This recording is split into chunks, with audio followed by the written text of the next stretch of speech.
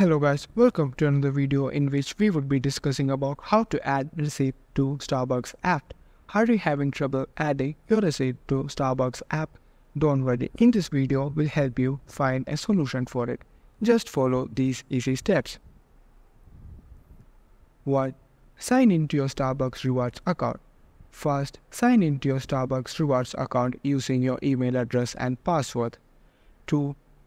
Activate receipt verification. Next, activate your receipt verification by providing your email and phone number. 3. Obtain the receipt. If you have printed receipt, you can use that. If not, you can obtain it directly from the barista when picking up your purchase in person or accessing it through the Starbucks website. 4. Scan the QR code. If you have a QR code on your receipt, you can scan it using the Starbucks app to add the receipt to your account. 5. Enter uh, receipt information manually.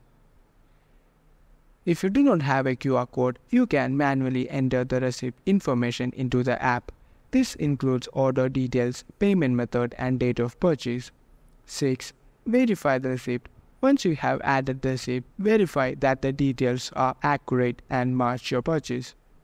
7. Save the receipt. After verifying, save the receipt in your Starbucks Rewards account for future reference. If you have any issues or concerns, you can try contacting Starbucks customer service for assistance.